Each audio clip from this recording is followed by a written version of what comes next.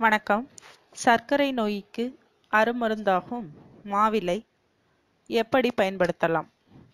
மாவிலை திருவிழா மற்றும் பண்டிகை நாட்களில் அலங்கரிக்க மட்டுமல்லாமல் சர்க்கரை நோயை கட்டுப்படுத்த அருமருந்தாகவும் பயன்படுகிறது. மாவிலையில் உள்ள சத்துக்கள் செய்யும் நன்மைகள். காஃபிக் அமிலம் இரத்தத்தில் உள்ள சர்க்கரையின் அளவை குறைக்க செய்கிறது. மங்கிஃபெரின் கொலஸ்ட்ரால் மற்றும் ட்ரைக்ளைசரைடு அளவை குறைக்க உதவுகிறது. ஃப்ளவனாய்டுகள் டைப் டூ நீரிழிவு ஏற்படும் அபாயத்தை குறைத்து இதய நோய்கள் ஏற்படாமல் தடுக்கிறது. காலிக் அமிலம் மாரடைப்பு மற்றும் டைப் ஒன் நீரிழிவு ஏற்படும் வாய்ப்பை குறைக்கிறது. மாவிலையை எப்படி பயன்படுத்த வேண்டும்?